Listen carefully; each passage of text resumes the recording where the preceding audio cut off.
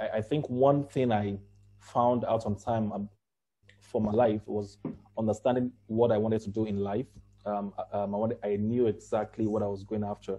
But if you see along my path, I'd, actually translate into other things. And the reason why I was able to translate and to go into other parts was because I knew what wasn't working for me at a early age. I knew what worked, and I was able to drop some distractions. So I'm going to advise people um, in your early 20s, um, you have nothing to lose. You know, try out things, volunteer, seek new experience, um, ask people if you can help them with something, try task.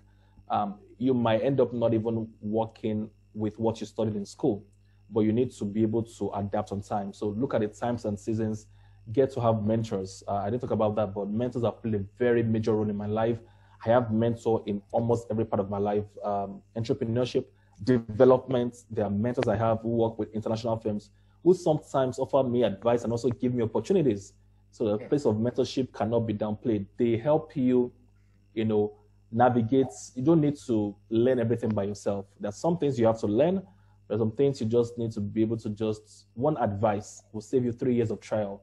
I've mm. worked on different startups. I know what works, what fails. So sometimes if you ask me, um, and that's what consulting is about, you know, because you've you've been you've had many experiences. I'm going to advise that you know, once start out on time. Don't be too bothered about will I fail or not. If you fail, you have the time to correct.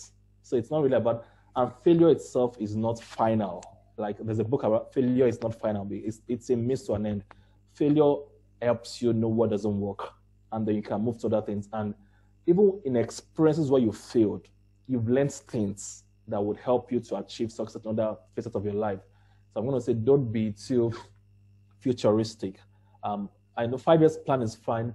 10 years plan, but be bothered about what you're doing today to help you achieve those goals. So try, fail fast if you can, so I can learn to succeed very well.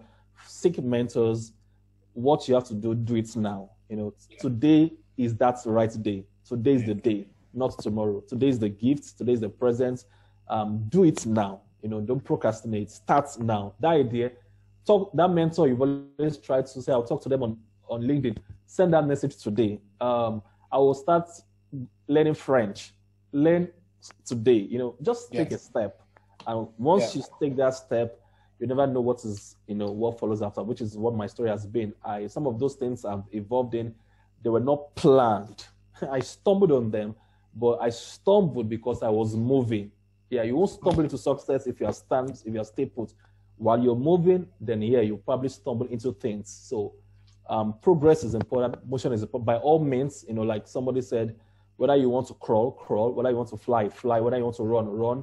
Whether you want to jump, jump. By all means, keep moving. If you fail, pick up yourself again. Try something else. Talk to people.